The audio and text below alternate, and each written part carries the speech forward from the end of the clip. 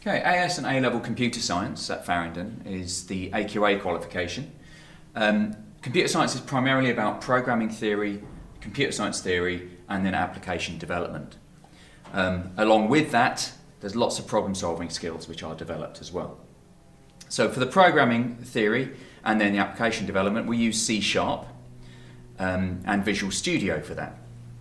So we go through at AS how to build a procedural program and how to use that to build robust applications. Then at A level, we go into the object-orientated programming paradigm. So you learn to, how to build a professional application using object-orientated programming. The computer science theory is applicable, applicable to any um, programming language, and the problem-solving skills are applicable way beyond computer science into any other um, field you go into.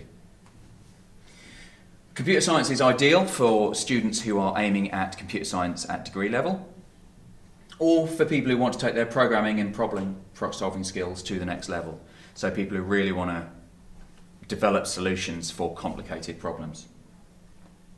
The AS level um, is assessed as two exams. The first one is an on-screen exam where you'll actually be programming C Sharp and that takes one hour 45 minutes.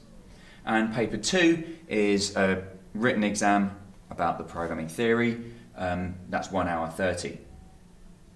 The A level is two exams as well. Each of those is two hours 30 minutes. But there's also an extended programming project, um, which takes many weeks, and that's 20% of the A level marks. The extended project, you really get to flex your muscles um, developing a solution to a problem that you define. You get a lot of freedom in what um, you choose in order to get those marks. The OCR Cambridge Technical in IT is a qualification that takes a practical approach to um, learning.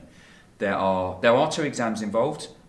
We take one in year 12, one in year 13, and there are three coursework modules. The coursework modules are all based around practically building things, building applications.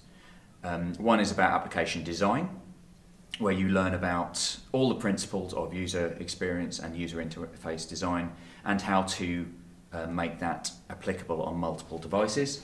And there's a web development unit where you actually build a website.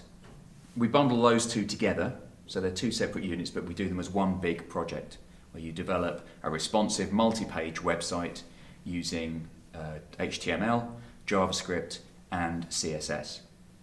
And even PHP on the server side, so you do some server-side programming as well as the web browser coding. The other coursework module is an application development module where we use C Sharp. So you'll be using Visual Studio and C Sharp to build an application to a brief, and that includes all of the non-online skills. So you're developing a click, uh, you're developing a graphical user interface to run on a Windows environment, much more like a traditional application.